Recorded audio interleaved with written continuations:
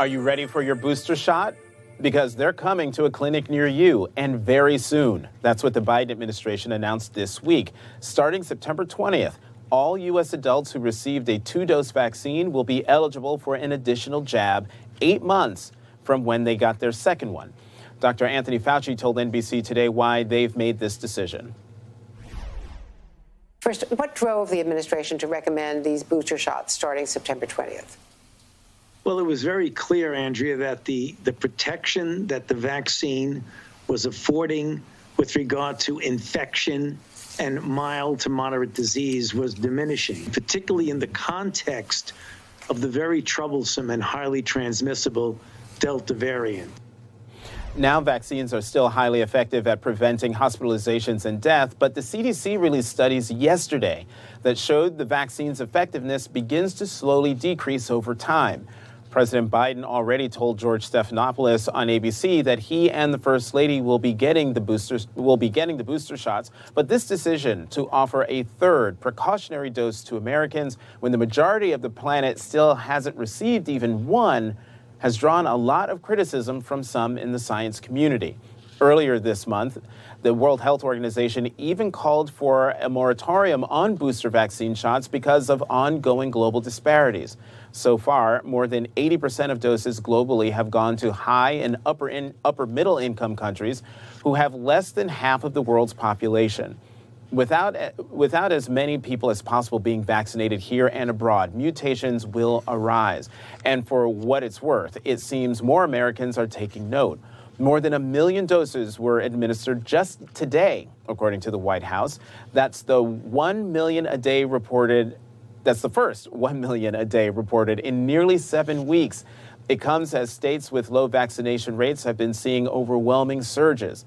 Mississippi, had to open its second field hospital to handle the spike in COVID patients, and state officials in Alabama said they have no ICU, ICU, ICU beds left. Unfortunately, there's nothing right now that says this is going to get any better. I'm staring into the abyss and I don't see the bottom. Those sobering words come from a state that had to throw out 65,000 vaccines this month that expired without any takers. So, how should the U.S. handle its vaccination campaign at this stage? Do we really need the booster shots? And how do we answer the moral questions of tossing out vaccines and giving boosters while other countries are desperately in need?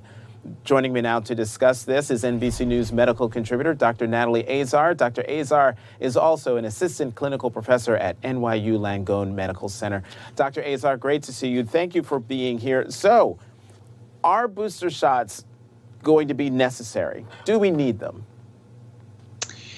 Well, that's really the million dollar question. Um, you know, the it appears that the Biden administration has has you know answered that and and said yes we do and and we need them sooner rather than later um, you know I, I, have to admit i was a little bit surprised by uh, the reaction and some of the blowback that that, that decision uh, triggered today um, you know i usually like to start this conversation by saying that boosters are not always inevitable, but a series of shots to achieve the greatest immunity um, is not unprecedented. We have examples of this in, let's say, the hepatitis B vaccine, the MMR.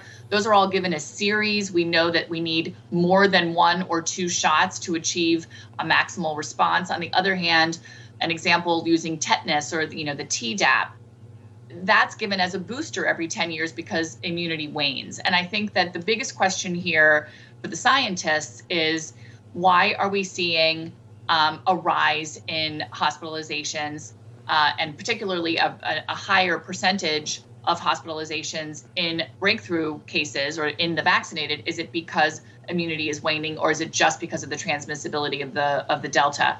And I don't think we really have the answer to that yet. Mm. What I'm getting from the messaging from CDC, Dr. Walensky, and, and the Biden administration is that they've kind of looked ahead and telescoped what happened in Israel and Israel's data shows that Pfizer's effectiveness dropped to 55% to protect against severe disease if you were vaccinated in January versus April. And we always know that we're a couple of months behind Israel. And I really think that this move is to get ahead of what they think is inevitable. Because if you look hmm. at the data right now, it's ridiculous for anyone to think that people who've been fully vaccinated needs to be boosted. You're protected from hospitalization, you're protected from death. You don't need to be boosted. But they're saying, you know what, in a month, it might look different. And I think they want to pre- be prepared for that inevitability, Jonathan. Dr.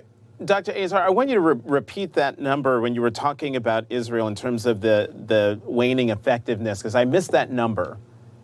Yeah. They their data, which you know, the data from Israel was always um, was scrutinized a little bit because I, I it, it doesn't appear that um, that it was analyzed to its to its full degree right away. It was the preprint and all of that stuff, but essentially what they showed, and that by the way, they're almost exclusively Pfizer, and they have a very different medical system there where they can track people. Sort of very centralized, so they have a really really good data. It's almost like a real world experiment, if you will. And they essentially found that the protection against severe disease dropped from over 90% to 55% in individuals who had been vaccinated in January versus in April, suggesting that there was a diminution in efficacy or in effectiveness the further away you got from vaccination. However, an important point though is that the majority of the people who did get sick were older, over the age of 65, and did have weakened immune systems. So it's not like they were necessarily seeing all younger people, um, you know, where where this severity was was manifesting. But nonetheless, that was their data, and I think a lot of the decision that we made here was based on that plus our own data. Right, and I'm glad I'm glad you you um, reiterated that because I'm wondering if whether the, the the booster shot, the third shot, will last. And I bring that up because CDC Director uh, Walensky said today that Americans may not need yearly COVID-19 booster shots, ju- suggesting that a third shot may sufficiently strengthen the long-term protection of Pfizer or or Moderna vaccines. Dr. Azar, um, one thing that I'm keeping my eye on is the FDA FDA approval of the Pfizer vaccine, and I'm wondering what should Americans take from that once the, the FDA approves the vaccine. What will that change in terms of how we relate to the, we relate to the virus, but also how we relate to the medical system as a result? Well, look, I mean, I, I think that full approval. Um, will have consequences um, and in, in a good way if you are on the vaccination side. Um, you know a, a, little aside is that i, I, I personally know of some uh, healthcare uh, colleagues of mine not physicians um, who, who are pretty clear that they're probably not going to continue working if they're if the vaccine is mandated which it of course it is. We know in uh, in new york city for healthcare workers now. Um, you know I, I think that having it fully approved is going to move the needle for a lot of the people who are on the fence, um, who were waiting for this to happen either because they feel more secure now or because they think, well, I just, if I want to work, I need to have the vaccine. Um, and I think it'll enable and facilitate, you know, the ability of businesses to make it a condition of employment um, if it's fully approved. And you know, to your point, the lead in there with Dr. Walensky saying that she doesn't know if we're going to need any more shots after this. She was also very clear in her interview with Savannah this morning that we just don't know. You know, we don't know if COVID is going to be, if the vaccination is going to be like flu, um, where we will need to change it because of strains every year. Um, it would be wonderful if if a third shot was all we needed, but I think it's way too soon to be able to say that, unfortunately. Mm-hmm. And you know, Dr. Azar, the, the, the, most important words you just said from a, a, a, good point of view is we just don't know. We should be very humble in how we approach this virus because it's brand new and we're all learning uh, as we go along. Dr. Azar, thank you very much for coming on.